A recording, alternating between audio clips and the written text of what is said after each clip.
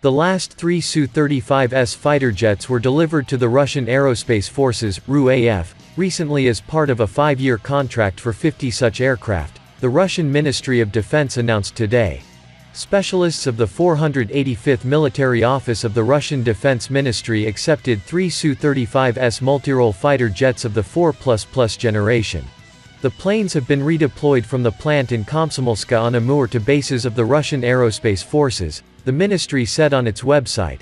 The next order for the Su-35 jets, expected to be signed by this year-end, could see important upgrades to the aircraft including engine, radar and electronics.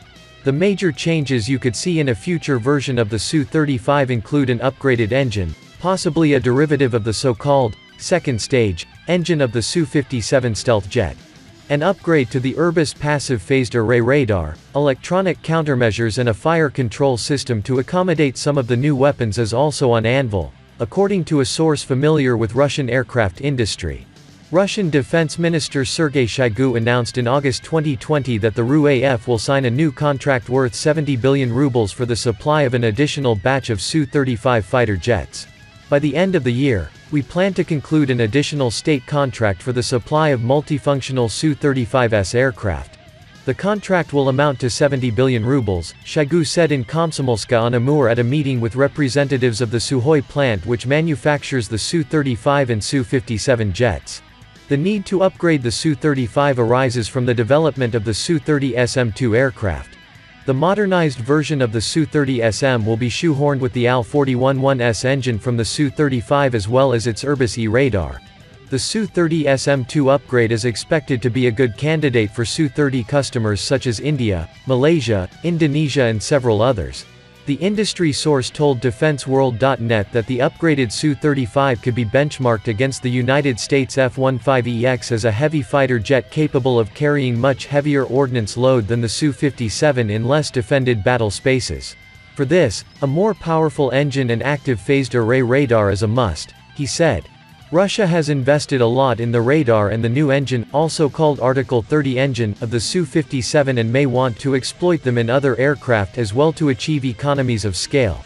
Currently, an upgrade to Su-35 will fit this bill, he said. The Su-57's NO36 Bielka radar system with 5 AESA arrays, 3 X-band and 2 L-band is an interesting concept. The antennae are mounted in the nose and sides of the fuselage besides the wings to give the aircraft a 360 degrees coverage. The NO36 will be the first AESA radar mounted on a Russian fighter. The Su-35 could use a modified version of the same radar to achieve superior detecting and tracking ability as compared to the current Irbis E radar. While not much is known about the second stage, or Article 30 engine, some glimpse of its features was released in a TV report last month indicating that the engine could be closer to production than earlier thought. I would even say that this is the 5 plus generation, slightly ahead of the 5th generation, because the specific characteristics of this engine correspond to this generation. The main thing is, specific thrust, specific consumption and specific gravity, according to Yevgeny Marchukov, general designer, director of OKB, a branch of United Engine Corporation UEC, which is developing the engine. No other engine in the world produces such specific thrust. Otherwise, it makes no sense to create such powerful aircraft engines. Its lifespan is 30 to 50 years, Marchukov said in an October 25, 2020 interview with the Zvezda TV channel of the Russian Ministry of Defense.